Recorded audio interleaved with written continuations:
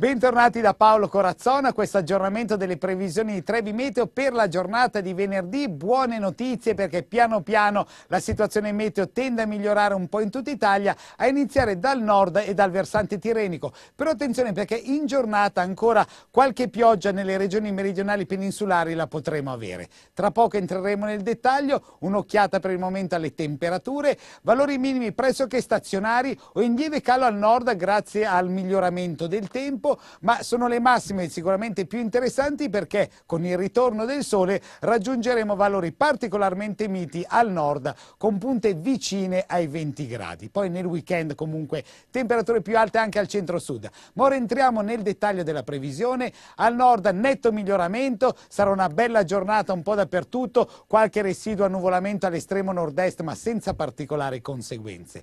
Nell'Italia centrale invece al mattino avremo ancora qualche piovasco Tedesco sul versante adriatico e lungo la dorsale appenninica, ma poi col passare delle ore situazioni in netto miglioramento. Infine per il sud Italia vi segnalo già il ritorno di ampie schiarite sin dal mattino in Sardegna.